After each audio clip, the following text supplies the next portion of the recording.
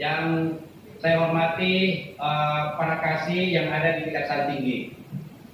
Pertama-tama izinkan kami menyampaikan permohonan maaf bahwa eh, penyampaian ini sa- seolah-olah agak terburu-buru sedikit mengingat di Kejaksaan Tinggi di wilayah Papua empat hari yang lalu eh, ada eh, kegiatan keagamaan sehingga hari kerja diliburkan dua hari Pak Jabidung. Tingkat kami sampaikan eh, informasi terkait permohonan eh, restoratif justice dari Kejaksaan Negeri Maroke. Yang pertama, kami jelaskan secara singkat bahwa pada tanggal 19 November terdakwa Andre Serang melakukan penganiayaan eh, kepada korban dengan cara yang bersangkutan pertama-tama akan memperbaiki handphone beliau pada korban. Namun korban lama menyelesaikan perbaikan handphone tersebut sehingga terjadi perselisihan di antara mereka. Terdakwa ini akhirnya melemparkan sebuah kaleng eh, sarden. Pada saat melemparkan eh, berakibat luka pada kepala eh, korban. Itu mungkin sekilas yang pengantar dari kami. Eh, apabila eh, Bapak Jampidum eh, ingin mendengarkan secara lengkap eh, Kajari Marok Ya.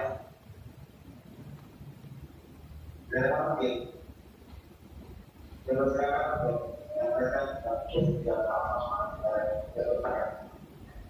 Oh.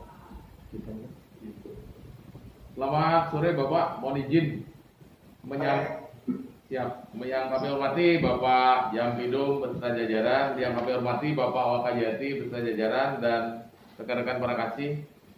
Mohon izin Bapak menyambung pembukaan atau penyampaian dari Bapak Wakajati terkait penyelesaian penanganan perkara penganiayaan atas nama Andre Seran melalui pendekatan restoratif justice Bapak. Mungkin mohon izin kasus posisi eh, mungkin tadi sudah dijelaskan Bapak Wakajati. Namun kami tambahkan sedikit Bapak antara terdakwa dengan korban sudah saling mengenal Bapak. Dan mereka tinggal dalam satu lingkungan. Eh, kemudian mohon izin kalau kasus posisinya seperti yang disampaikan Pak Wakajati tadi, kami sedikit menyampaikan penanganannya. Eh, kami nyatakan berkas perkara tersebut lengkap P21 pada tanggal 19 Januari 2021, Bapak. Kemudian pada tanggal 20 Januari 2021 ini penyidik dari Kepolisian Resort Asmat, Bapak. Jarak antara Merauke dengan Asmat itu ditempuh 2 jam pesawat yang kecil, Bapak.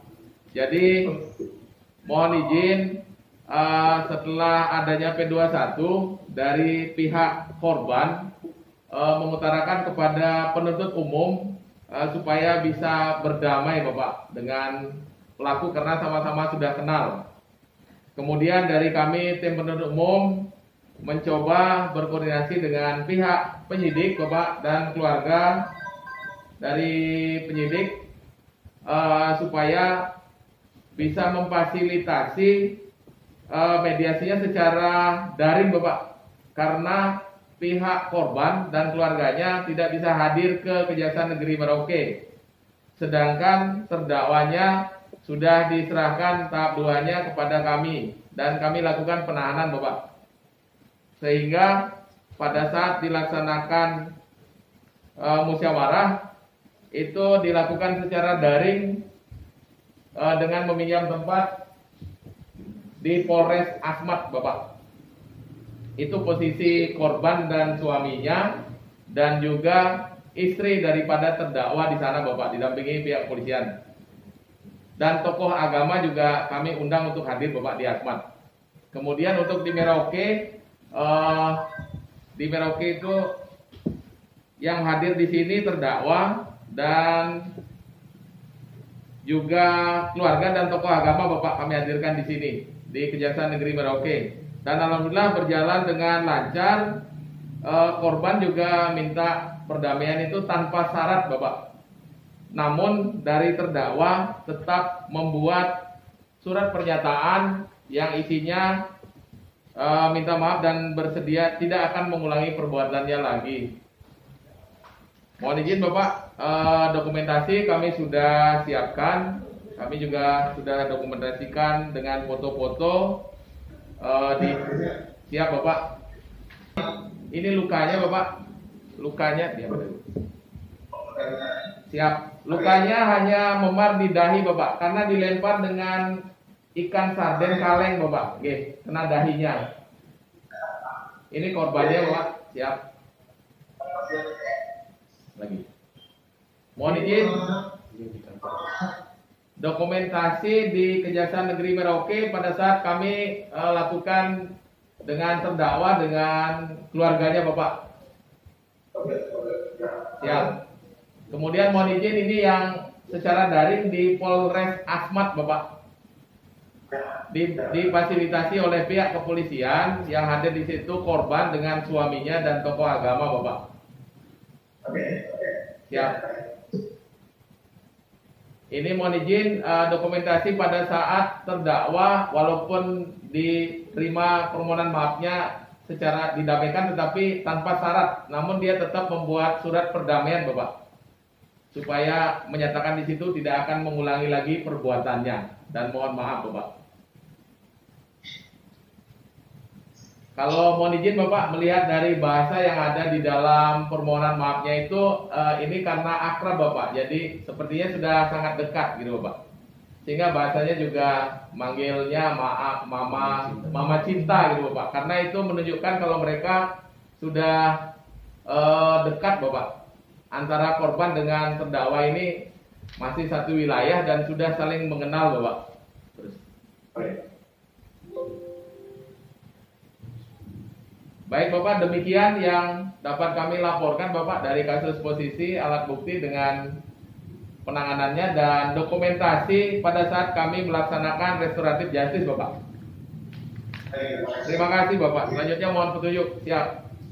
Eh, keterlibatan dari pembuka masyarakat atau tokoh terhadap perdamaian yang anda lakukan ini ini diberikan dalam tidak ada di mereka dilakukan perdamaian kemudian diputuskan dengan restoratif justice ini Baik Bapak, terima kasih terhadap hal tersebut.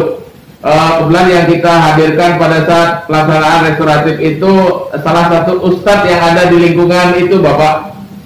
Eh, memang ya sebelumnya juga sebelum ditindaklanjuti oleh kepolisian mereka itu sebenarnya sudah melakukan pendekatan dari ulamanya Bapak. Namun waktu itu belum berhasil kemungkinan karena korban itu masih marah Bapak, masih emosi.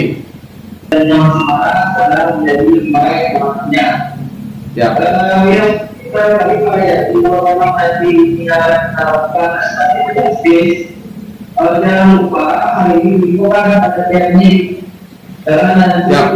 pada sepuluh persen akan ditahu Ah, Pak Kajari, Siap Bapak. Perintah siap. Ya. Siap. ah, mohon maaf tadi di Kejaksaan Tinggi ada trouble mati lampu sedikit, Siap Bapak. sehingga ah, perkembangan diskusi kami tidak sempurna mendengar tadi Pak Kajari. Namun di akhir dari kesimpulan Pak Jampidum sempat juga saya mencatat beberapa petunjuk beliau Siap. Uh, pada dasarnya uh, pimpinan menyetujui usulan yang kita sampaikan terkait dengan RJ ini Ya. dan nanti mohon dipersiapkan uh, dokumen-dokumen terkait dengan SKP 2 dan dokumen-dokumen terkait lainnya.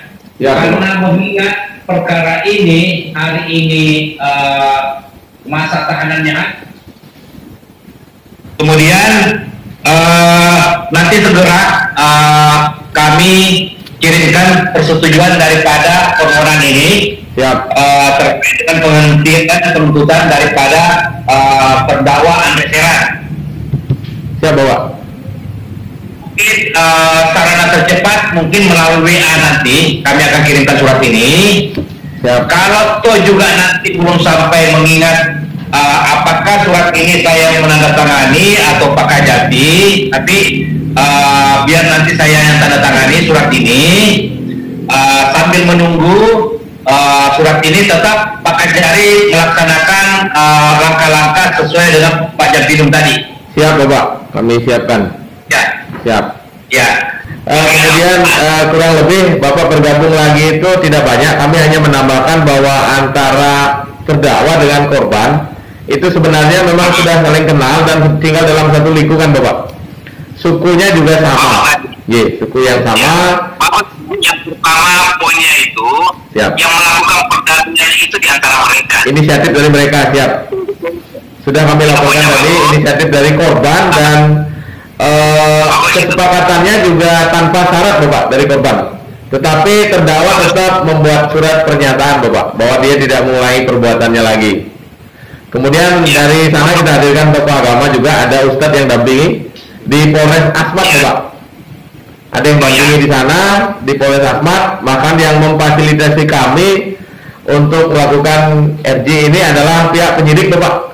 Jadi sesuai petunjuk beliau tadi bahwa harus disampaikan kepada penyidik. Nah, kami sudah difasilitasi oleh penyidik bahkan Bapak. Siap. mungkin uh, sebagai tambahan juga Pak Kajari uh, teman-teman Intel itu membuat kirka juga Oh baik Pak.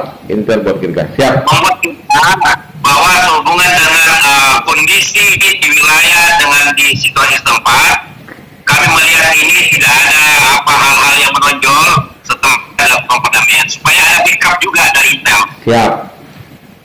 Baik Bapak. Ya, oke.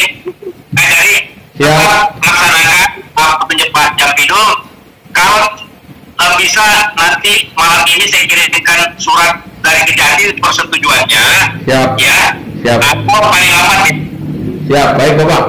Nanti kami juga lengkapi SKP 2-nya dengan administrasi yang dibutuhkan. Nanti kami segera PDF-kan Bapak. Kami Oke. segera kirimkan. Oke.